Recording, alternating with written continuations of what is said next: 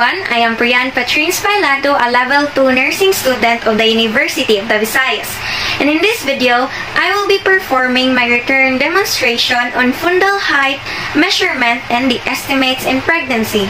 I am going to perform how to compute the EDC or the expected date of confinement on a pregnant woman using the Naegele's rule and the date of quickening. I am also going to perform the procedure in estimating the age of gestation using the McDonald's rule and the Bartholomew's rule of fourths. So sit back and I shall begin this instant. Fundal height, or also known as the symphysis fundal height measurement, is the measured distance from the top of the pregnant uterus to the top of the symphysis pubis. It is used to indirectly measure fetal growth. Prior to the procedure, we have to prepare the equipment that we will be needing. This is to facilitate efficiency and organization in performing the procedure. So the equipment that we will be needing are first, rolled towel, gloves which is optional, and the most important is the non-elastic tape measure. Next is we provide patient privacy by closing all the doors and window and pulling down curtains. And then, we proceed with performing hand hygiene to prevent cross-contamination. Now we are going to introduce ourselves and verify the client's identity. Good morning, ma'am. I'm Preiane Paylado, your student nurse for today. For verification, ma'am, may I ask for your name and your date of birth? I'm Jennifer Himarino. Your birthday is? Nine, June 8, 1995. Okay, ma'am. Thank you. The next step is to explain the procedure to the patient and ask her to empty her bladder. Explaining the procedure and providing information to the patient fosters trust and cooperation. If the patient has a full bladder, we ask her to void to encourage relaxation and to promote patient comfort throughout the procedure. Moreover, a distended bladder may reduce the accuracy of fundal height measurement. So, Ma'am Jen, allow me to explain the procedure that we will be doing today. So, today we are going to get your fundal height measurement. This is to indirectly measure the growth of your baby and to validate your gestational age, which is 28 weeks. This procedure involves exposure of your abdomen. Is that okay? It won't hurt and it won't take very long. Yes, it's okay. Okay, thank you, Ma'am Jen. Now, would you like to pee to make sure that your bladder is empty? Yes. Okay, thank you. Now, we place the patient in a dorsal recumbent position supine with knees slightly flexed to relax abdominal muscles. We also put a rolled towel on her back under her hips because she is at risk of supine hypotensive syndrome.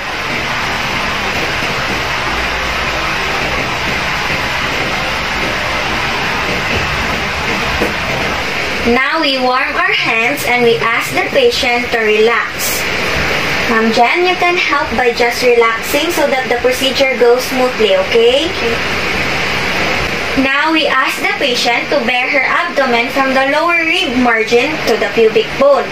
Exposure of the area that is to be assessed enables the nurse to obtain an accurate fundal height measurement. Okay, Ma'am Jen, I'm just gonna pull down this blanket. I'm gonna pull up your shirt, okay?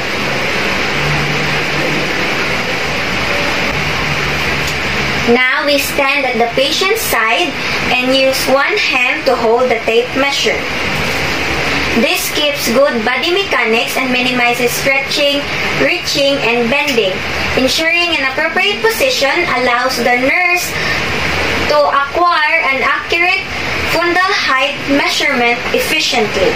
Now we're gonna hold the zero mark of the tape measure at the upper border of the symphysis pubis.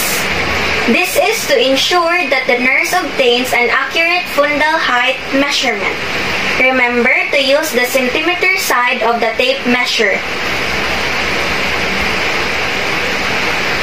And then, with the other hand, we then take the extended measuring tape over the fundus, finding the fundus, and denote the measurement.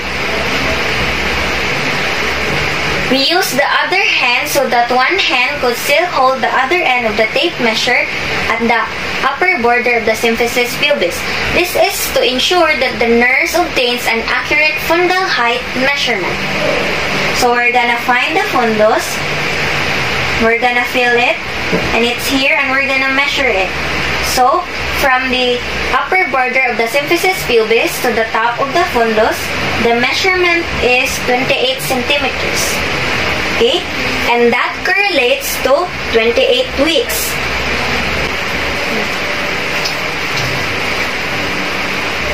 Okay, Ma'am Jen, I'm now gonna pull down your shirt. You may now put your knees together and you may do whatever position that makes you feel comfortable. So getting the fundal height measurement, we then proceed with doing the following. First is to compare the measurement to the week's gestation and two is to compare the measurement to the previous pregnancies if charts are available or if it is applicable. This is to ensure the fundal height measurement correlates with the age of gestation. This helps to determine if the measurement is within the normal range or if there are any significant findings. This is to assess the baby's fetal growth and development and enables the nurse to indicate the reasons why a baby may measure too big or too small. So, Ma'am Jennifer's fundal height measurement is 28 centimeters, which actually correlates to her age of gestation of 28 weeks. So now, we will proceed with calculating the estimates in pregnancy. To compute the EDC or the expected date of confinement, we will first use the Naegele's rule. To do this, we will count back three calendar months from the first day of Mom Jennifer's LMP or last menstrual period and then we add seven days. So based on the records, Mom Jennifer's LMP was April 8. So April is the fourth month in the calendar. So we will subtract 4 by 3 because we have to count back 3 calendar months. And that gives us 1. The first month in the calendar is January. So the EDC is January. To get the days, we will add 8 and 7 because again, the LMP was April 8. 8 plus 7 equals 15. Therefore, January 15 of the next year is Mom Jennifer's expected date of confinement.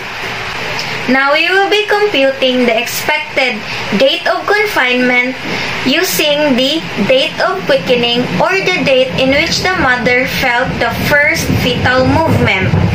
To compute the EDC of a primi gravida, we will add the date of quickening plus 4 months and 20 days.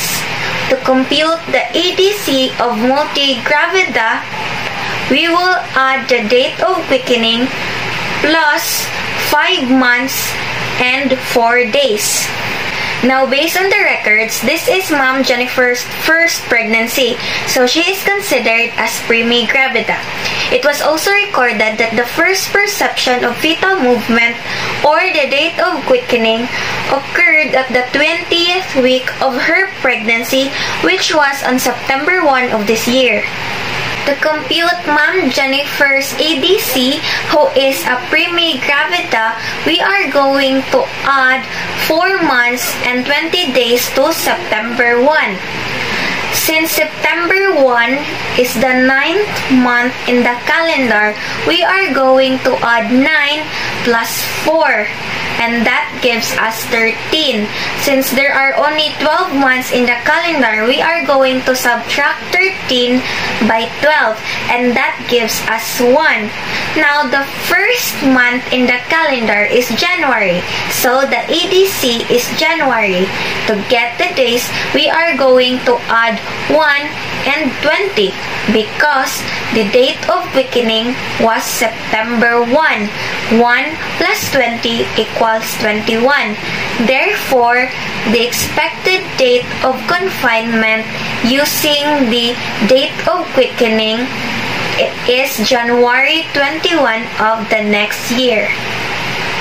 So as you can see, the difference between the expected date of confinement using the Naegele's rule and the date of quickening are only days apart. January 15 for Naegele's rule and January 21 using the date of quickening. These dates are only estimates. This is not 100% accurate because it only aims to predict the estimated delivery date of a pregnant woman. Next is we are going to perform the procedure in estimating the age of gestation. First is the McDonald's rule. To do this, we are going to utilize the fundal height that we measured earlier, which is 28 centimeters. The formula for McDonald's rule is fundal height multiplied by 8 and then divided by 7. So, 28, which is the fundal height that we measured, times 8 divided by 7 equals 32. Therefore, based on the McDonald's rule, the gestational age is approximately 32 weeks. Next is we are going to determine the age of gestation by using the Bartholomew's Rule of Force.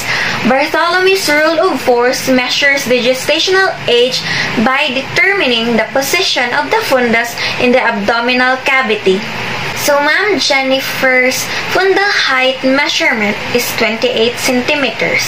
Her fundus is located in between the umbilicus and the xiphoid process, which is approximately 8 centimeters above the belly button. Therefore, based on Bartholomew's rule of force, the gestational age is around 28 weeks. And that is how we calculate the estimates in pregnancy. Now that we are done determining the expected date of confinement and the gestational age, we will then explain the findings to the patient because it is the patient's right to be informed of the findings. She needs to be informed, especially if there are significant findings, because this establishes trust and rapport. Okay, so Ma'am Jen, your fundal height measurement correlates with your gestational age or how long your pregnancy is. There is no significant findings and based on the procedure that we did, the baby's growth and development are of normal range. Now, since we're done with the assessment, we will then proceed with performing the hand hygiene to prevent cross-contamination. And lastly, we document the results because documentation provides ongoing data collection and comparison. The, res- the results will serve as a reference for the nurse in implementing the care plan because accurate and detailed written records is the foundation of an efficient nursing action.